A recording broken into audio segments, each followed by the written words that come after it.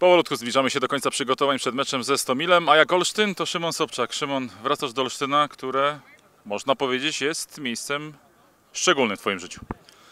Na pewno duży, duży sentyment do tego miasta, do tej drużyny, ale tego sentymentu nie będzie widać w niedzielę. No, my jedziemy z jasnym celem, chcemy przywieźć trzy punkty. Mobilizacja na trybunach, jeżeli chodzi o gospodarzy, też spora grupa wyjazdowa e, naszych fanów. Szykuje się prawdziwe piłkarskie święto. Nic tu chyba nie trzeba dodawać, na to liczę. Piłkarskie święto na boisku i poza nim. My na pewno damy z siebie maksa, mamy swój cel. Stomil na pewno też nie jest w komfortowej sytuacji, więc, więc liczę, że, że ten mecz będzie bardzo dobry. Spotkasz się też z kilkoma kolegami, z którymi byłeś e, w zespole Stomilu. Były już jakieś uprzejmości SMS-owo, dzwoniliście do siebie.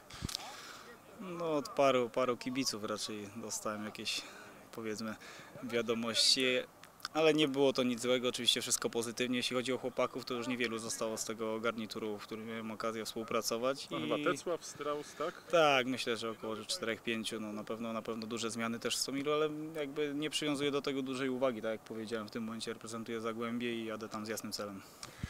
Dobrze, no to cel mamy jako zespół zwycięstwa. Według Ciebie co może być tutaj kluczem do, do tego zwycięstwa?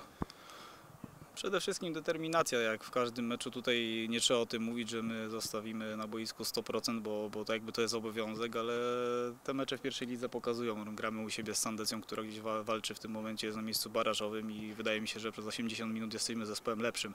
Tutaj nie ma co dużo dyskutować, musimy wyrzec się błędów i przede wszystkim zacząć strzelać jeszcze więcej bramek i to na pewno na to nas stać. No to moi drodzy, niedziela godzina 15, walczymy ze Stomilem Olsztyn na wyjeździe, transmisja Gada Budy, no i liczymy, liczymy przede wszystkim na wsparcie kibicowskie i na znakomity wynik.